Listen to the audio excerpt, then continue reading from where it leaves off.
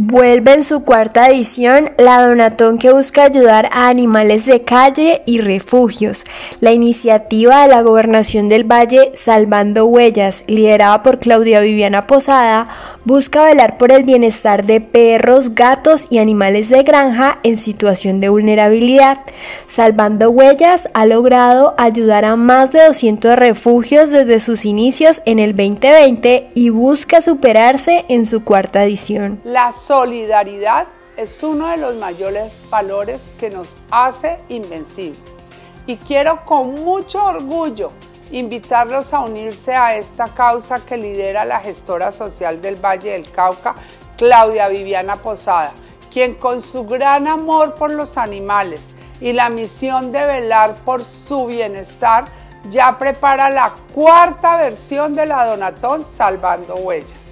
Desde el 2020 hemos recolectado más de 40 mil kilos de alimento, medicamentos, materiales de construcción e implementos de aseo para ayudar a perros y gatos que están en condiciones de vulnerabilidad y más de 200 refugios de los 42 municipios donde son acogidos. Una campaña con la que hemos ayudado a más de 200 refugios de los 42 municipios del Valle del Cauca. Ustedes pueden sumarse con alimento para perros y gatos y animales de granja, medicamentos, materiales de construcción e inclusive implementos de aseo que además ustedes no se imaginan lo mucho que realmente necesitan estos implementos de aseo todos estos refugios. Recuerden que todo esto es para apoyar a los animalitos en situación de vulnerabilidad. El año pasado recaudamos 15 mil kilos de alimento y este 2023 esperamos superar esa cifra para llegar a más lugares y a más animales.